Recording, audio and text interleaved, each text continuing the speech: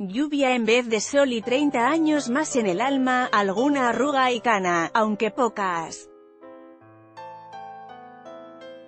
y sus amigos de Barcelona, Madrid y el País Vasco para acompañarlo a Alpeduez Pedro Delgado en acción, en mayo del 2018 y el 14 de julio de 1988, tal como este sábado aunque tres décadas antes.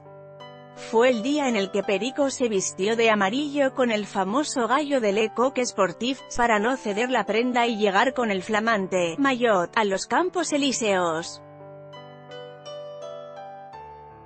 1988 fue el año triunfal de Perico.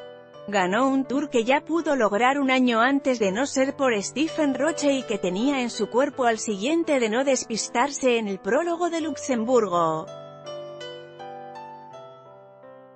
Los tres estaban escritos en sus piernas, la de los más fantásticos de marrajes en la montaña, tanto que todavía hoy 30 años después la piel se pone de gallina con tan solo recordarlos.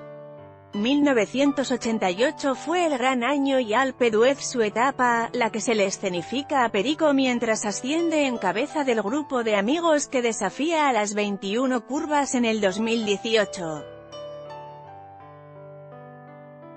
Arriba vuelve a esperar el jersey amarillo en el podio que aguarda a todo cicloturista, allí donde el próximo jueves, como cada vez que la prueba llega a este enclave alpino, se instalará la meta del Tour. Se ve en la duodécimo etapa, La Reina, Morsin Alpe y 227 kilómetros es 14 de julio, libertad, igualdad y fraternidad, menos en la ruta del Tour.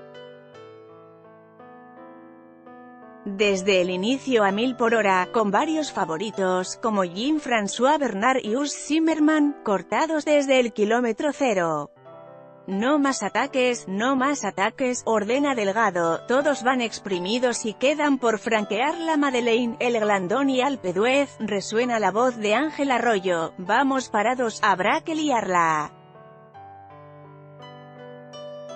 Perico observa que solo quedan 4 kilómetros para coronar la Madeleine.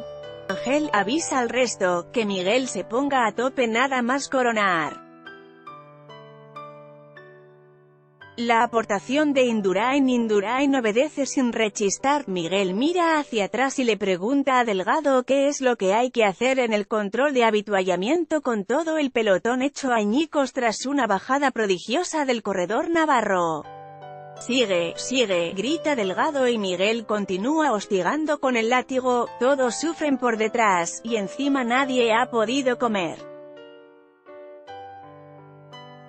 Solo los componentes del Reynolds, con la estrategia preparada, cogen las bolsas de habituallamiento. Tras una tregua en el Glandón, donde muchos corredores enlazan pareciendo cadáveres vivientes, Delgado reparte órdenes entre sus ayudantes, a Jesús Rodríguez Magro, que ha relevado a un fundido Indurain, a Omar Hernández colombiano como Lucho Herrera y Fabio Parra, que, sorprendentemente, están recortando terreno a Perico, quien en compañía de Steven Rooks ya es cabeza de carrera.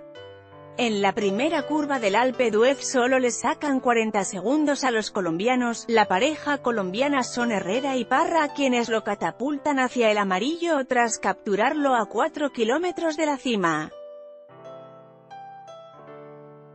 Se forma un pequeño grupo, todos unidos hasta la meta, hasta el demarraje de Rux en los metros finales, Perico Corona Alpe d'Huez, tercero a rueda de Gert Hante Onise, pero siendo el rey, el mismo que llegará vestido de amarillo a París. Ya está de nuevo situado en el tiempo presente, en un sábado de mayo del 2018, en la cumbre de Alpe d'Huez, allí se vuelve a vestir de amarillo. Es la misma talla de maillot. Y en la imaginación todavía se escuchan los aplausos recogidos en los misterios de las montañas.